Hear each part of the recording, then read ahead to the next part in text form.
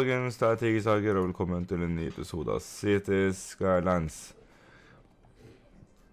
Vi avslutta forrige med å lage litt områder her, sånn, for vi ser at nå begynner etterspørselen her igjen å bli noe større. Så vi må ha flere av disse områdene. Vi smeller på i hvert fall tre slike områder der. Og jeg tenker at vi setter på noen eh, her også, men der vil jeg ha mer kommersielt. Så vi tar noen kommersielle områder her. Og så begynner etterspørselen for flere boliger å øke seg litt. Rann. Jeg prioriterer ikke det helt ennå, for etterspørselen er såpass liten. Vi må få ned denne målinga her, for den er eh, litt viktig akkurat nå.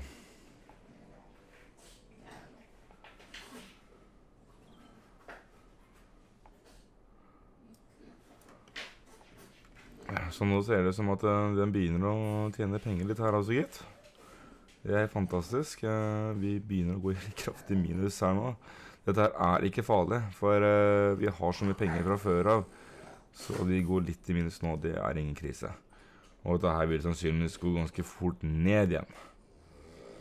Så her er det bare å avvente. Nå ser det ut som at vi trenger ikke noe mer av den type industri, men vi trenger ganske mye mer av øh, kommersielt. Og det skal vi selvfølgelig få unna dem. Så ja, da gikk vi i pluss med én gang. Så det er bare sånne små øyeblikk hvor vi går ganske kraftig ned i minus, men det gjør ingenting. De er helt OK. Så er det et par stykker som flytter og litt sånne ting, da. Men uh, det går nok opp igjen, det også, tenker jeg. Uh, og her er Å, herregud, her var det mange folk som ikke har fått tatt inn søpla si. Uh, hvorfor, uh, hvorfor ikke det? Skal vi se Hvordan er uh, landfill usage? Ok, vi trenger vi, vi, trenger flere sånne dunker, rett og slett. altså. vi må bare sette opp flere et eller annet sted. Hvor faen skal vi gjøre det? Så Vi kan sette opp der. Og vi kan sette opp her. Det kunne vi ikke. Jo, der faktisk. Der gikk det an. Da gikk det fint an å gjøre det. Uh, ja, herregud, vi Men jeg skjønner ikke Altså, vi, vi må bli kvitt dette, så vær så snill, folkens, fortell meg hvordan jeg skal få tømt dette her. Fordi jeg har opplevd tidligere at når jeg har tømt det, så vil de bare føre det over til andre steder, og det det er lite kult. Spørsmålet er også om vi skal sette opp budsjettet for uh, denne søppelfyllinga. Slik at vi får ut flere biler. Men uh, nå ser det ut til at det begynner å hjelpe her. sånn. Det er flere søppelbiler som begynner å komme og ta. Det er uh, to, to sånne områder igjen som fremdeles mangler litt. Og der ble de tatt. Supert. Så får vi håpe at uh, vi greier det. Spørs om vi ikke bare skal kutte altså vi, Jeg har så lyst til å fjerne dem, men uh, jeg får ikke gjort det. Skal vi se Her har vi en som er syk. Rett og slett. Citizens are sick. Da må vi satse på at det kommer en ambulanse til han uh, Azabzulu. Vi skal se Har uh, Health der vi har nok av folk til å Nok kapasitet til å dekke det området der. Så vi får satse på at det kommer en uh, baubil til han, og der kom baubilen, så han, nå ble han redda. Supert. Så da var det problemet løst.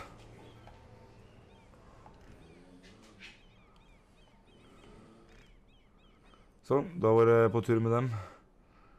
Uh, nå begynner de å etterlyse disse områdene her igjen. Jeg skal bremse opp litt med det, og så vil jeg ha flere kommersie mer kommersielt. Og det skal de få, så vi kjører den rett over der. Og det samme gjelder her. Sånn. Og sånn. Bang. Vi, vi må ta den, og vi setter opp vi setter opp de. BV. Da blir det én, to Og så blir det sånn der, og så blir det noe sånn der, tenker jeg. Sånn, det burde fungere greit.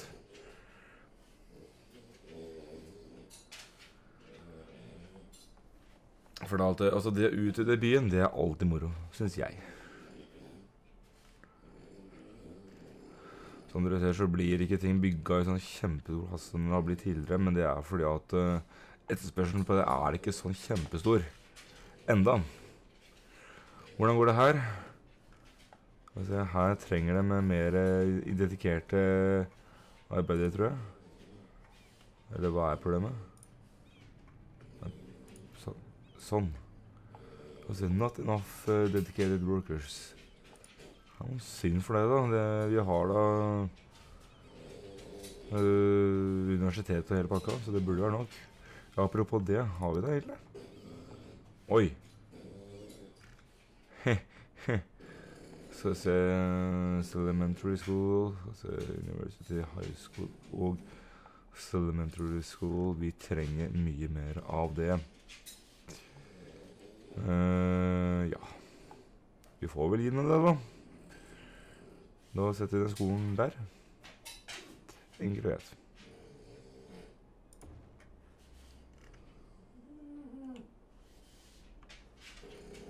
Hvor, hvordan endra det seg nå? Og vi har ikke vi, vi, må ha mye mer. Vi må ha mye mer.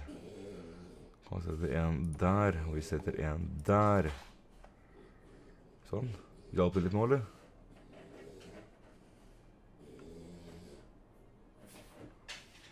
Vi trenger uh, Vi trenger mer kapasitet. Så vi setter en der også. Så er det flere som kan få utdanna seg litt her. Kapasitet 2000. Hvordan er kapasiteten her, da? Kapasitet 4500. Vi setter universitetet her også. Det er mulig det er veldig raskt med avgjørelsen, men vi bare må jo få gjort dette kjapt. sånn at de har uh, Der toppa vi hele kapasiteten. Da er det veldig innafor. Sånn, da får vi flere utdanna mennesker. Det betyr også at det blir mindre kriminalitet. Så nå har vi da muligheten til å utdanne flere, og da håper jeg at uh, situasjonen for dem løser seg litt. Og at jeg nå snart får uh, et par nyutdannede folk. Så dette her har tydeligvis hjulpet noe jævlig for dem, i hvert fall. Så da håper jeg at, at det her hjelper litt for dem også. Not enough dedicated workers. Fremdeles, dessverre. Får håpe at uh, det endrer seg om ikke så for lenge.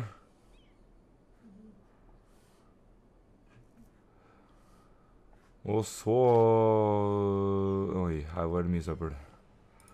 Hvordan er kapasiteten?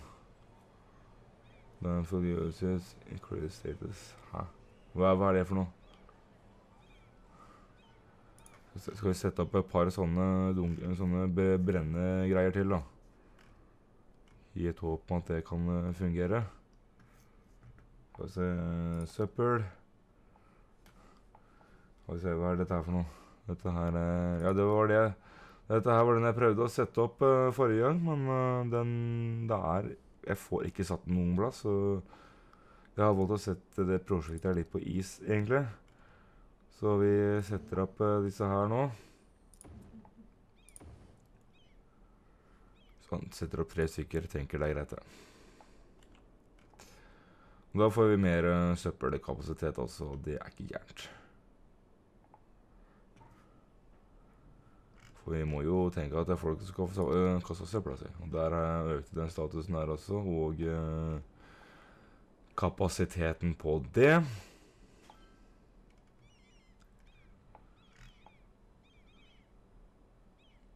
Og disse her, de er i ferd med å Ok, da Vi skal prøve, rett og slett, å uh, bare få Kjør disse her rett disse dunkene. Jeg håper det funker. Vi, vi gjør et forsøk. Skal vi se MP been to another fac faculty. Skal vi se hva det er. Open budget panel. Nei, vi, vi prøver den. Se om vi kan få tømt litt. Forhåpentligvis så greier vi det. Så lar vi det holde på sånn en stund nå. For min mening nå er at eh, Eller at det kan faktisk se ut som den går. For det er viktig at de bilene der at de kjører hit for å dumpe. De er det viktigste akkurat nå. At de ikke kjører alle andre steder. Ok, hva er det den sier nå? Building is uh, emptying. Oh no shit. Jeg ba dem om tross at de gjør det, så Men effekten av det der jeg vet ikke om det funker, altså. For i så fall så må vi jo basere oss kun på å ha disse her, og det fucker opp litt, tror jeg. Så jeg vet ikke helt hvordan dette her eh, skal fungere. Hvordan er søpla inne her nå? Er det mange som eh, ikke får henta søpla si? Antagelig fordi det her blir jo prioritert på en litt rar måte. Men vi får se om det går etter ei stund. Vi går 10 000 kroner i minus her, så jeg vet ikke om dette her er noen uh, veldig fungerende måte egentlig å gjøre dette her på.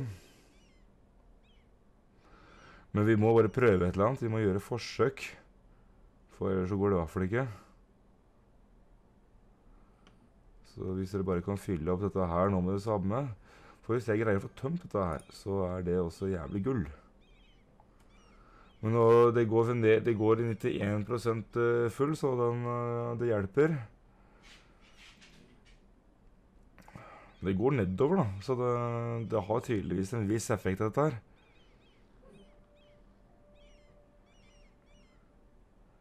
Og nå er vi endelig i pluss igjen, og det er jo for så bra, men øh, det er ikke en krise. Se 89% Det hjelper jo. For det ser ut som det er mange av dem som uh, kommer hit for å levere dritten. Ja, jeg håper det er det som faktisk skjer nå. Så de kan få brent opp av dritten. Og hvis det er tilfellet, at det faktisk er den, det som skjer nå, så fort den er tom, så kan vi få uh, fylt opp de andre. For det her ser vi at det, det blir bare mindre og mindre.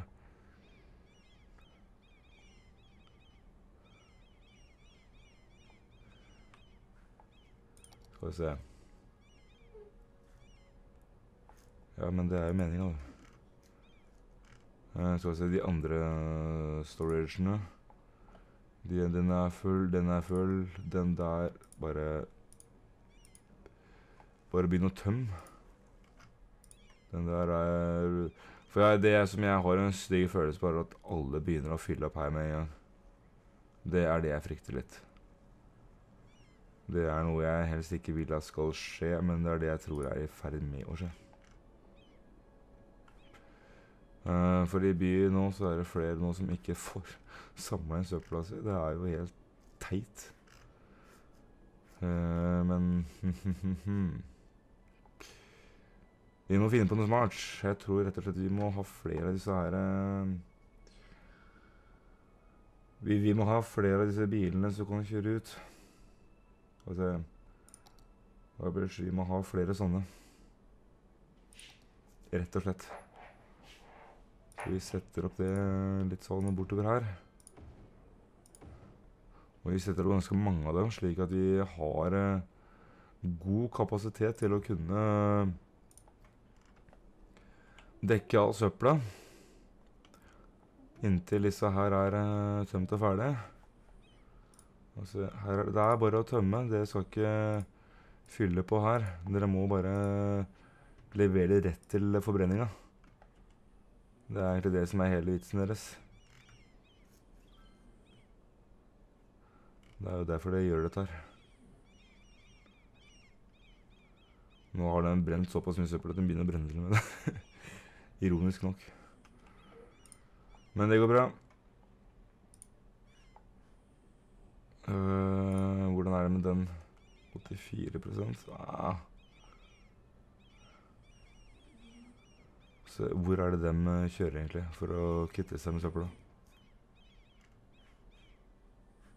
For det kan se ut som at de faktisk bruker disse dunkene her altså, til å kvitte seg med det så får brent opp alle sammen. Jeg lurer på om ikke det er tilfellet nå. Jeg håper det er det. Det hadde vært awesome hvis det er tilfellet. For, for, for, da blir jeg kvitt disse dyngene. Det hadde vært kjempebra. Og du er 3 full, så det går iallfall litt nedover. Skal se om det Er det den jeg bruker? Se på den. Ja, det er det. Det ser ut til å hjelpe en del, tror jeg. Den er fremdeles 83 full, men de løsner det ikke på heller, for det, det har de ikke lov til. De skal jo kvitte seg med ting, og ikke fylle. Spørsmålet er jo også hvor mye disse her har kapasitet til. 82% Ja, det går nedover. Det går nedover, folkens. Uh, skal vi se Men denne her fylles ganske bra opp nå, tenker jeg. Den kan vi egentlig bare også merke som uh, Merke på én ping, for den skal vi, vi skal ikke fylle på dem. Å, herregud, her var det kø. Sånn går det når vi skal tømme alt som er. Men de brenner jo jævla fort, da. Det skal sies. Det, det brenner sakte, men sikkert her. Vi er jo i pluss ennå, så det, det er ikke noen sånn kjempekrise. Jeg tror vi skal tenke på det å bygge ut. Se, fikk det der. Og siden jeg økte med de her forbrenningene, så kan det se til at søppelet til andre folk har blitt tatt. Så dette her har faktisk en positiv virkning. Så vi skal ta og uh, få litt flere boliger. For vi er fremdeles på pluss, men det er ikke mye å gjøre. Så vi må gjøre diverse tiltak for å unngå å gå helt i dass her. Altså, ta den der. Og så vil jeg ha den uh, seg ut der og rett over sånn. Det er sånn merkelig veistruktur, dette, men ja, det får ikke hjelpe. Vi tar Vi tar den, og vi legger på litt flere høyblokker. Altså High Disney Industrial Zone. Low Disney Industrial Zone. Vi må ha den, selvfølgelig. Jeg vil, jeg vil ha høyblokker, så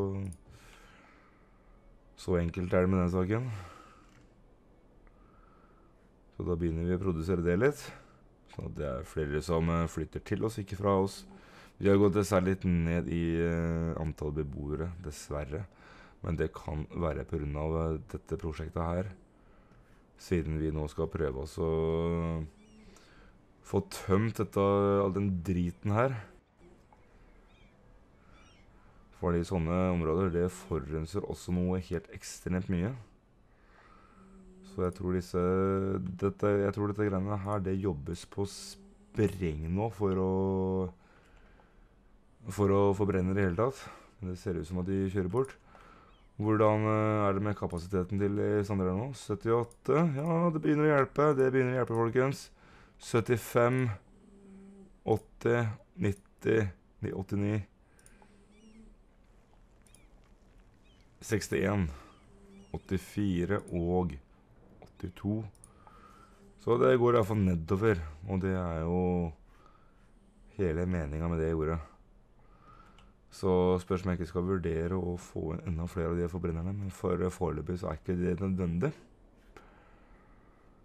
Mener jeg. Det er mye jeg mener her nå, merker jeg. det er lite, bitte lite behov for flere boliger og bitte lite behov for flere industrielle områder. Jeg tenker vi kan begynne å bygge litt ut på denne sida her også, så vi får brukt hele området vårt.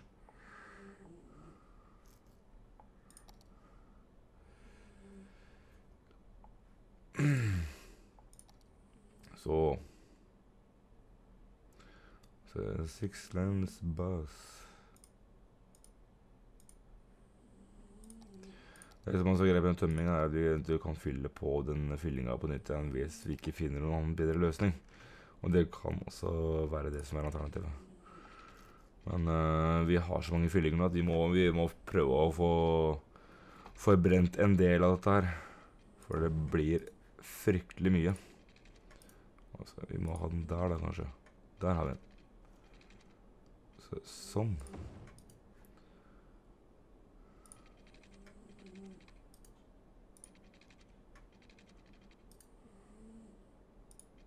Der har vi. den. Sånn. Setter vi den over der. Og så tar vi eh, den og setter, legger Nei, det gjorde vi ikke. Hvorfor, hvorfor vil den ikke det? Nei, den vil, ikke, den vil i hvert fall ikke det. Greit. Um, da tar vi tenker, tenker vi kan ta den, og så kjører vi over sånn. Og det samme her. Bare kjør rett over.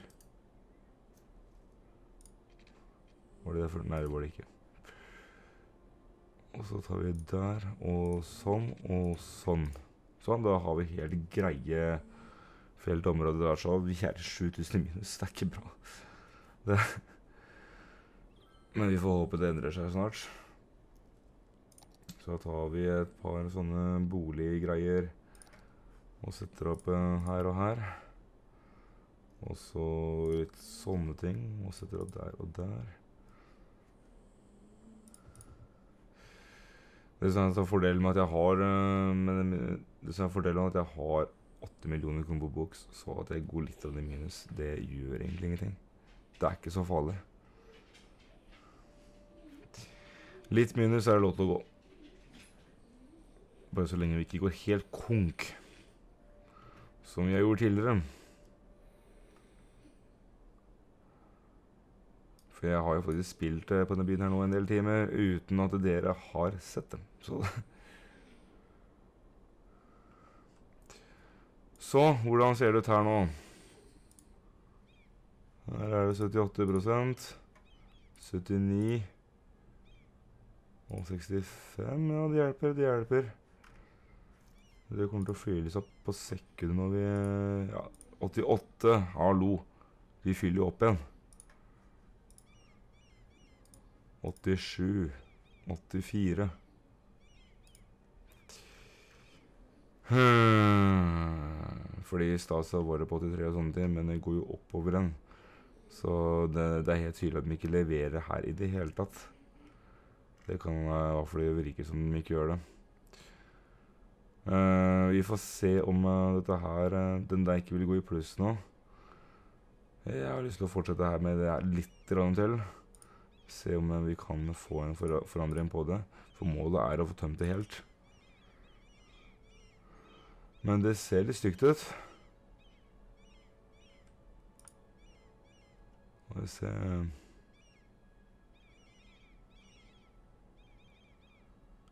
Den gir iallfall tømmer her, da, så Den tar det med seg. Kanskje jeg skulle vurdere å sette opp eh, budsjettet på dette her litt. Rana. slik at vi kan få en uh, bedre forbrenning. Men da trenger vi også mye bedre inntekt. For 4000 eh, pluss det er ikke sånn kjempemye for at det er hva jeg er vant til.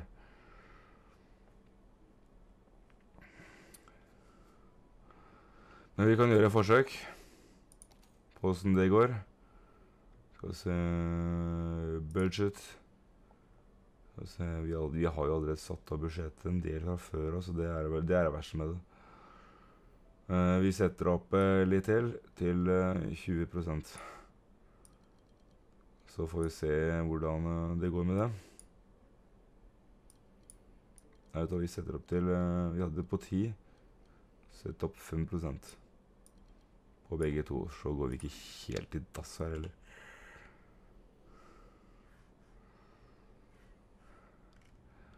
Og Hvis vi høyer opp budsjettet, så tror jeg også at vi har mer kapasitet til å få ut all uh, driten som er her nå.